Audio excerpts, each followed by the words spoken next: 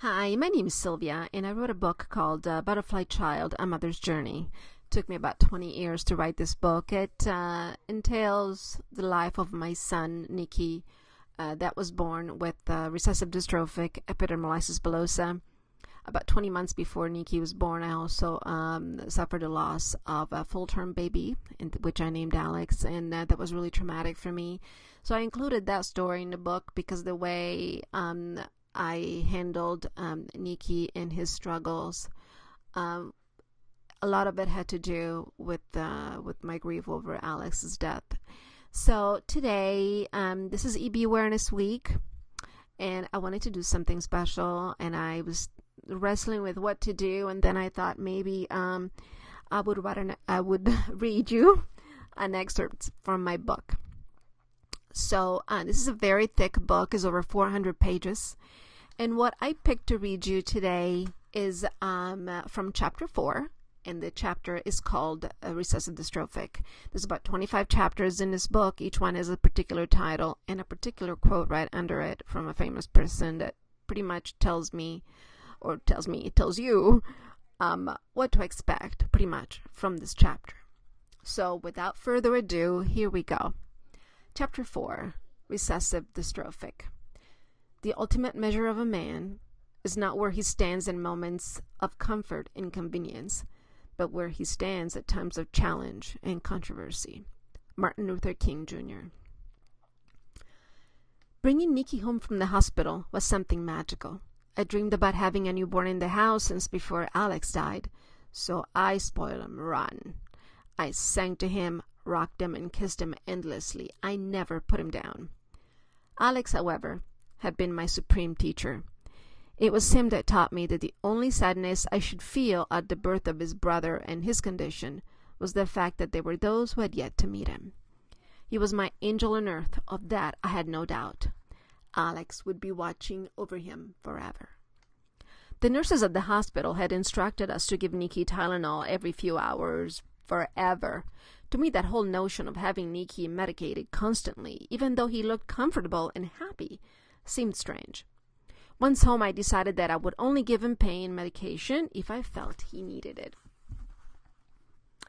Despite it all, Nicky was mostly a happy baby. I watched and paid close attention to his moods and cries quite a bit to make sure he was okay. I became a little obsessed about the breathing, to be honest. I would wake up at night to make sure I noticed even the slightest movement of his chest to reassure me.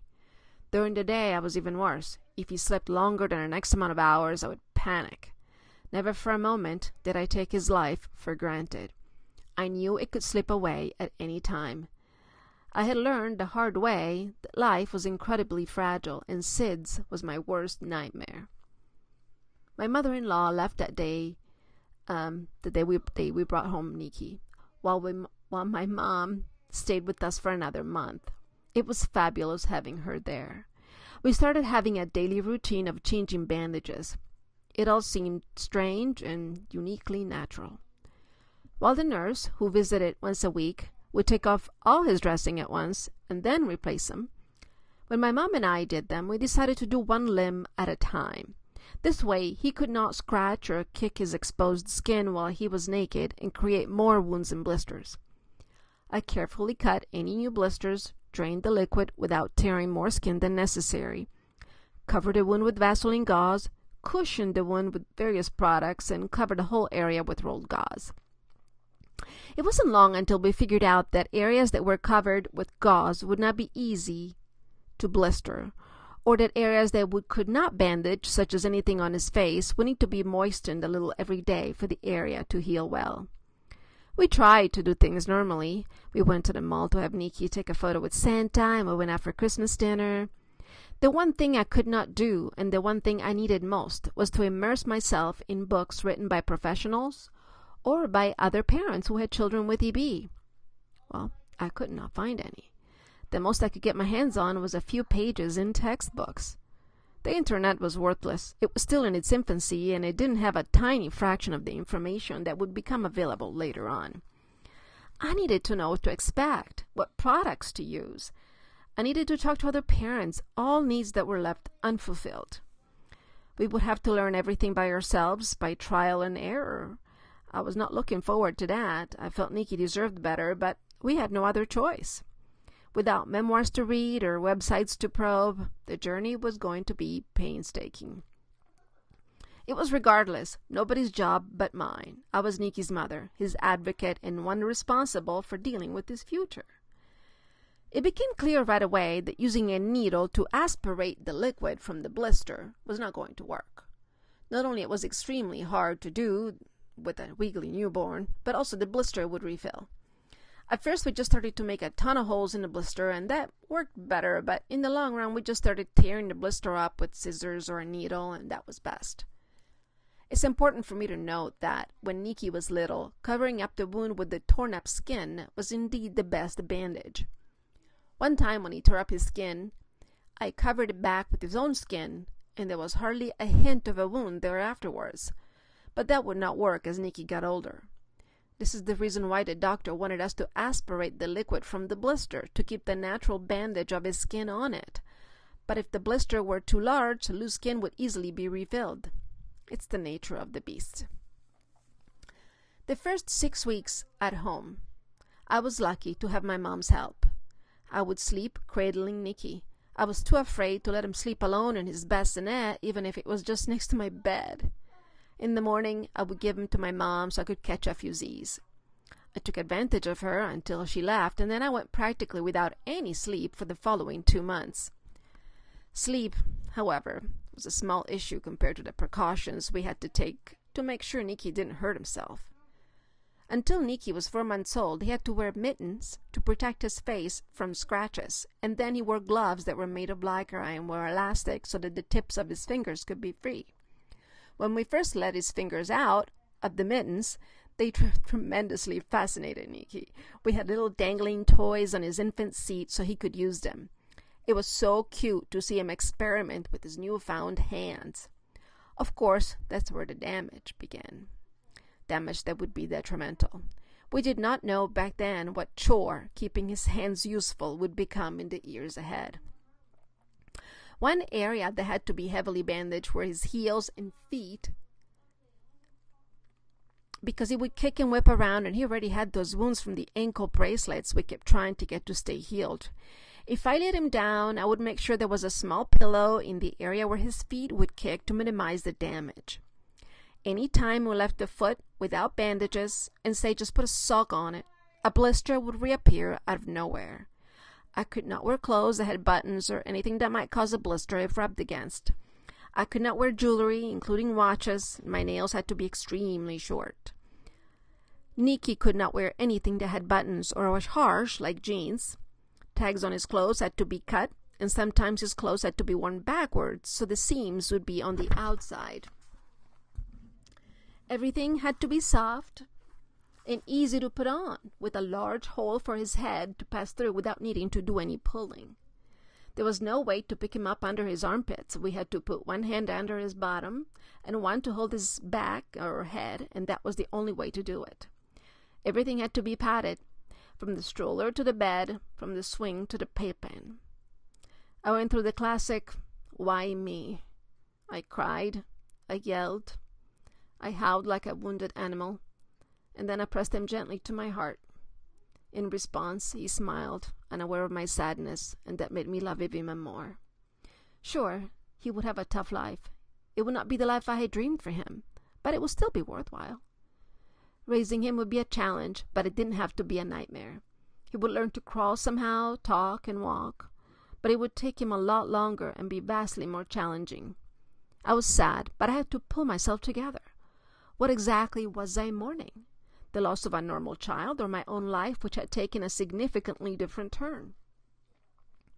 I knew that pumping my milk was important, so I would use this machine I rented from the hospital to pump my milk every few hours. I don't know if I never got the hang of it or I was just bad at it, but it hurt like hell. And as time went on, I got less and less out, so within a month, my supply was completely gone. I realized that I was not pumping in the middle of the night as they told me to, but I was getting so little sleep as it was, to get up to torture myself was not part of the agenda. Besides, I had to take care of myself in order to take care of Nicky. Well, research shows breast milk is best for babies. The reality was that I truly put in an honest effort, and in the end, it didn't work out. Sometimes, when you have a special needs child, you have to make decisions that are less than perfect. Formula became my best friend. The one thing I didn't like was how paranoid I was becoming. Nicky would sleep in his bassinet, which had wheels, so I would take the thing with me in every room I went the kitchen, computer room, bedroom, even the bathroom. I needed to be there to hear every breath, every cry. Each and every cry I would scramble, wondering what he was crying. Was he hungry, dirty? Did I have a blister somewhere? He was colic too, which didn't help matters. Another thing that freaked me out was that I could not trust anyone to come in contact with Nicky. No matter how gentle I would tell him to be with Nicky, they would end up shoving the bottle into his mouth, creating a blister, or picked him up under his armpits, creating a blister, or would try to do anything that would be absolutely fine, be fine to do with any other baby, but most certainly not an EB baby. A point comes when you refuse to let anyone touch your child because you have to protect them.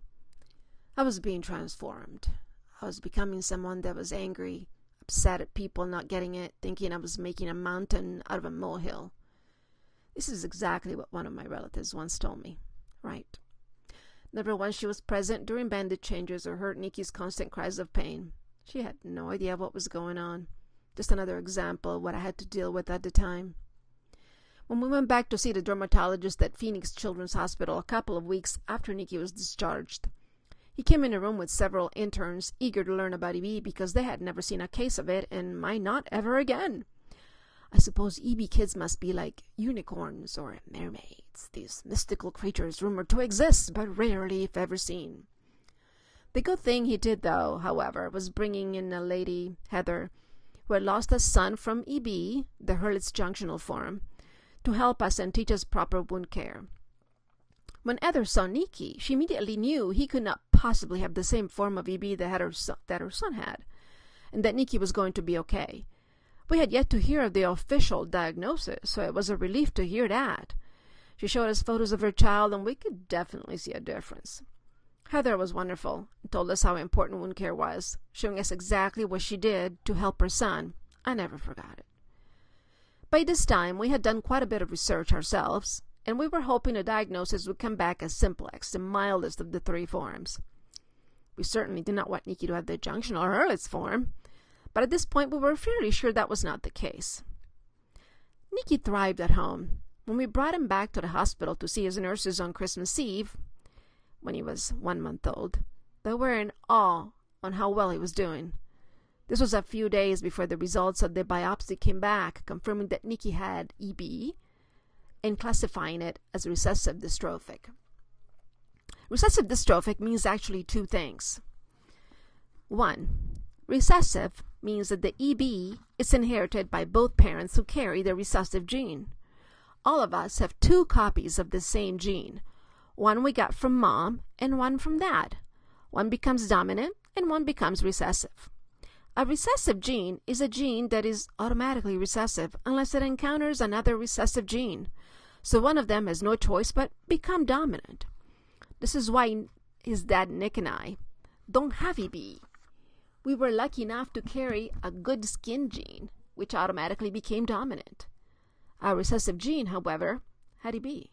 This, of course, means that any baby of ours had a 25% chance of having EB, 50% chance of being a healthy carrier like us, and 25% chance of being a healthy non carrier. It all depends on which gene is passed on our healthy skin gene or our defective recessive gene. And two, dystrophic. Dystrophic with EB means basically how deep the wound is. The wound from a simplex patients lie in the epidermis. Junctional lies in the junction between the epidermis and the dermis, and dystrophic lies in the dermis. This is why I often tell people Nicky sores are like second degree burn like wounds because the epidermis is completely gone, and that is the reason they have to heal with moisture to avoid infections and heal properly without scarring. It was official. Nicky had RDEB, and it wasn't ever going to go away. It was our new reality, our new life. Most, if not all, children with the recessive forms of EB recessive dystrophics, and all forms of junctional, are born to parents who didn't know they had anything to worry about. There was no test at the time to find out if you're a carrier for EB. The gene is rare, but it is everywhere. It's random, and it occurs without regard to ethnicity, class, or religion, equally present in both the genders and all races. Hence, EB families tend to be diverse. Why me and not you? Was this person, why this person and not the other? It's the magic of genetic lottery. This obscure, sneaky gene was prowling, waiting to be coupled, and if the odds had been in our favor, we would never have known. Thank you so much for listening to my excerpt from the book Butterfly Child. You can find out more information about my book on the website butterflychildamothersjourney.com or the Facebook page, which is facebook.com slash butterflychildbook.